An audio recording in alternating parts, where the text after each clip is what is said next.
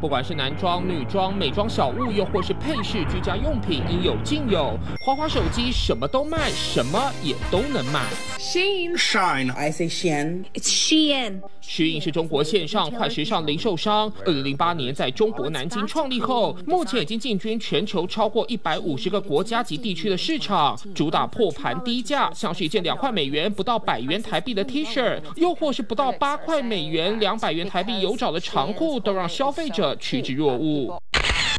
不过，德国媒体最近引述生态试验期刊的检测，发现适应的部分商品含有大量的有毒化学物质，包含铅、铬、邻苯二甲酸盐等有害物质，而且多达三分之二的检测商品未通过评分标准。这当中，凉鞋商品验出有害物质的情况最为严重。all of them are forever chemicals.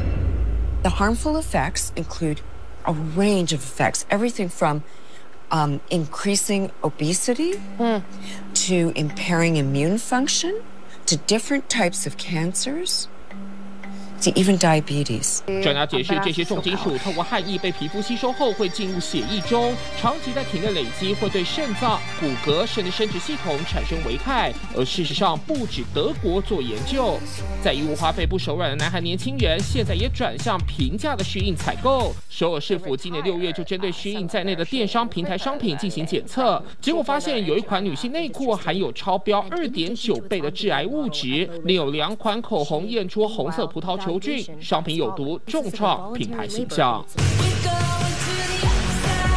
其实虚印惹出的争议还包含抄袭以及血汗工厂的恶名，这比快时是更快的急速时尚，究竟是庞大商机还是毒害消费者的健康？时间会给答案。